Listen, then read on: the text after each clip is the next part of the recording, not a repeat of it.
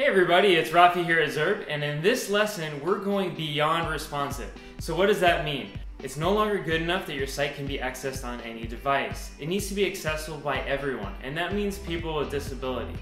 So we have to consider people that are using assistive devices, like especially screen readers, because that seems to be the most common situation.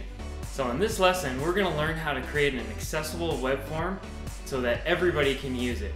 That means if somebody has a visual disability and they're using an assistive device like a screen reader, they'll be able to access the form with a keyboard and be able to hear all the actions and the focus areas where they're on on the form.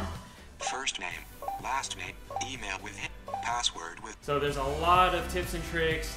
There's attributes that are very unique to accessibility that we'll be exploring. And once you're done with this, you'll really understand how to make things more accessible for your users.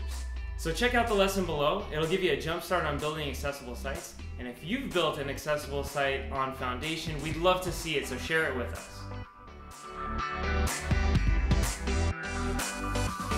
Have a nice day.